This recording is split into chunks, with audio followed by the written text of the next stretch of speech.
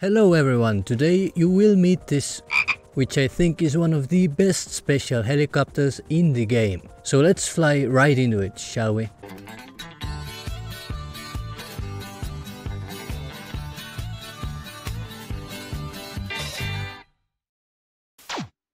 To get this special vehicle, you need to be on a mission called Three's Company, which is marked on a map as a P-ladder in Town and can be found between the FIB and the IAA buildings. As always, that does not work with a mission replay. This is not the same one which you are using during the mission. If you wanna see how to get the mission one, check out my other video which shows it. The that we are here for can be found after the mission is passed and when you switch to Trevor. It is very similar to the mission but if you know some secrets, it can be a lot better than that. It does have the same red-brown looking body color, which alone is exclusive to this mission only, but it can also spawn with a variety of different persons, which in my opinion look very cool, and create nice looking color combinations you can never normally see in the game. If you pass the mission and immediately switch to Trevor, you will always get that most boring black person. And since have very scripted spawn locations, we need to do something specific to get other cooler persons from this list. Remember, the more right the percent is in this row, the harder it is gonna be to get it, but they are still all equally special on this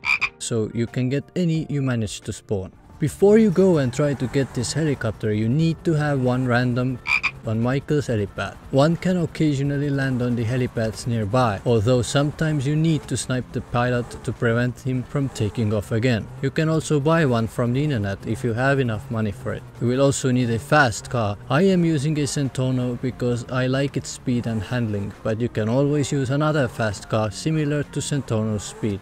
Go ahead and start the mission with your fast car. You gotta work your way all the way up to the final part where you need to land the in the FIB lot. Skip the cutscene and immediately rush to your fast car, which should be parked in this location. We need to take this route to helipad since it's the fastest way there. It's basically the GPS route with slight modifications in some parts. Remember, speed is very important here since Trevor will only be possessing this for 2 minutes after mission pass. If you get inside the fast car, start driving along this route as fast as you can before the mission finally passes and once it does, make a quick save. Quick save is needed in case your driving path goes south or the shine isn't the one you want.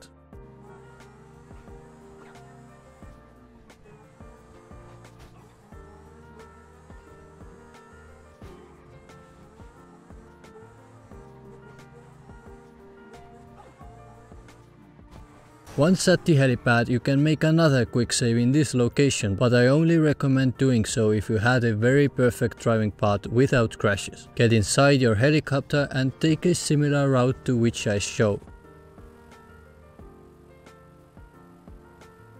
At this location, switch to Trevor and if he's still flying this helicopter, you did it correctly and you can check which percent you got. If you get a different cutscene or the shine is not the one you wanted, just reload your quicksave and try the same thing again.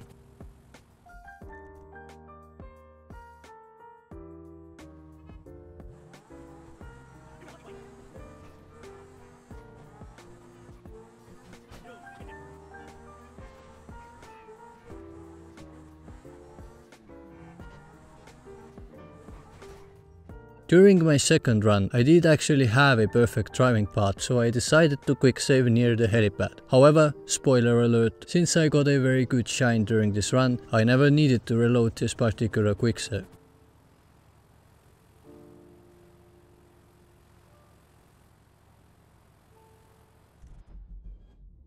Once you have the shine you are pleased with, just place the on Trevor's helipad and drive away and back to get it saved. If you play on Xbox 360 or PS3, spawn locations are different there. So basically it's all the same method but you have no point flying your where I did in the video. Instead, one can spawn in the airport and one can spawn in downtown, so pick one of those locations and fly there instead. You should also have Franklin's helipad not both, since in such case random can also land there, helping you get later shines. However, I will say this that it's a lot harder to get later shines on Xbox 360 or PS3 than it is on newer platforms. What is cool about those platforms though is that in the very first version 1.0 on Xbox 360 and PS3, this also has a blank license plate. Obviously it is totally invisible though. For the end of this video, I would rate this vehicle depends. It is really easy to simply switch to Trevor after the mission pass and get this helicopter, but depending on which person you want, it can sometimes get really annoying and time consuming if you are constantly having to reload those quick saves. I still suggest investing some time into this